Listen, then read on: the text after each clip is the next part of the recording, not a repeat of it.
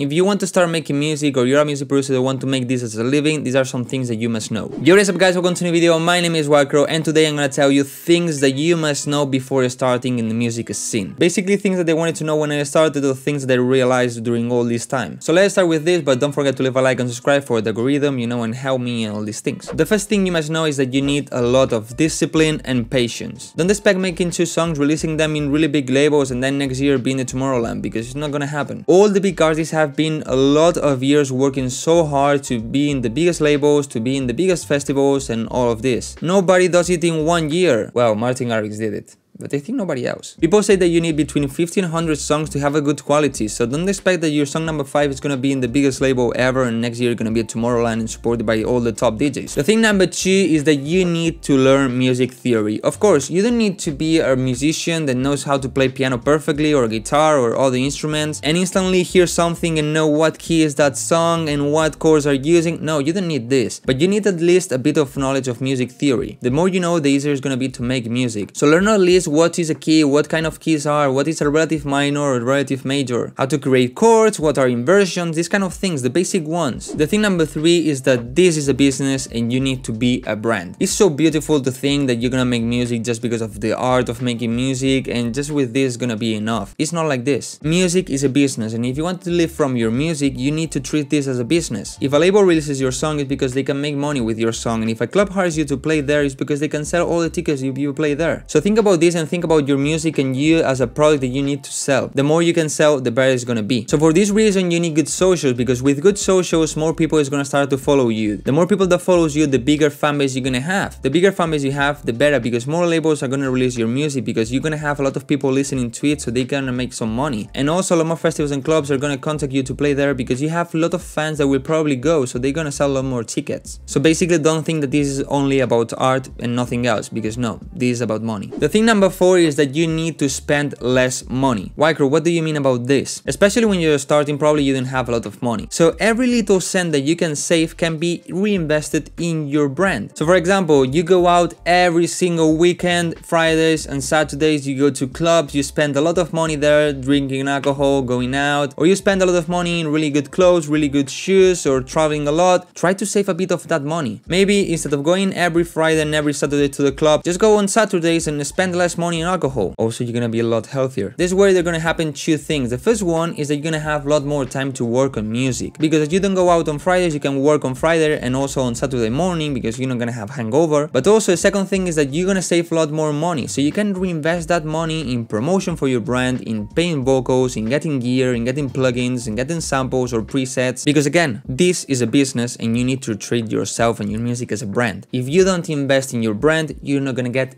anywhere. So if you prefer to go out and spend all your money in just getting drunk, do it. But you're gonna lose time to work on your business and money to invest in your business. Of course, I'm not saying that you should never go out and never see your friends and never travel and never buy clothes and all of this. No, but try to save a bit of that money. The thing number five, and is related to the previous ones, is that you need to make money. If you want to live out of something, you need to make money with that thing. So if you want to live from your music, you need to make money with your music. How can you make money? There are a lot of ways to make money out of music. I made a video where I tell you all the income sources sources they have and how much money made last year with all of them. So maybe that video can help you a little bit. So if you want to go and watch it, but after this one, don't skip this one now. Okay, wait a little bit. This way, as the previous tip, if you make money, you can reinvest a lot more money in your business. And the more money you invest in your business, probably the better it's gonna go. I think number six is that you need to let your ego die. Don't be that stupid person that just because released once in a good label is like, oh,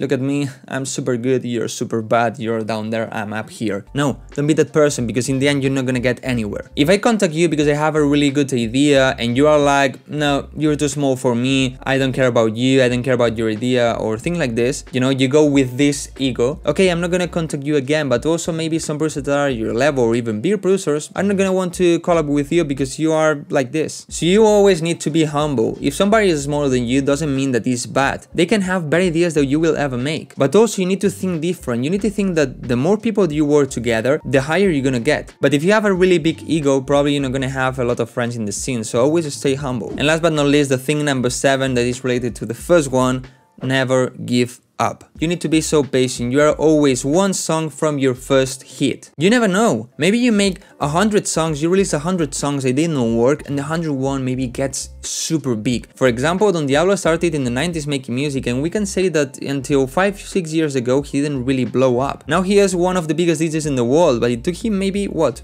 15, 20 years. So during all this time, you need to do the thing that I said in the tips number 3, 4 and 5 and is that you need to treat the, this as a business, you need to make money so this way you can stay all this time. And if one day you start releasing hit after hit, then you're gonna grow a lot and you're gonna be one of the biggest DJs. But if just because the first year you stop making music because you didn't achieve anything, then of course you're not gonna get anything. For example, right now I'm living out of this, but it took me a lot of years. I didn't start last year making music, I didn't start last year with my YouTube channel. No, I've been 4 years with my YouTube channel and I've been making music like 6, 7, 8 years. So it took me a while to be here and make money with it. But in the end, I'm doing it. My idea is to keep doing this until I really make it in the scene and I really grow and I really get a lot of support. But the only thing I know is that I'm not gonna give up. So well guys, that's it. I hope these tips help you to understand more what is the music scene before you start making music and what things you're gonna need to do or understand to try to live from this. So if it helped you, it would be awesome a like and a subscribe. Also maybe put down below in the comments the things you would love to know when you start making music. And as always, thank you so much to all of these guys right here that are the members of my Patreon membership. If you want to be here, down below in the description you have the link to my Patreon and I have a video on my YouTube channel where I explain everything. But nothing else guys, thanks so much for watching and see you in the next video.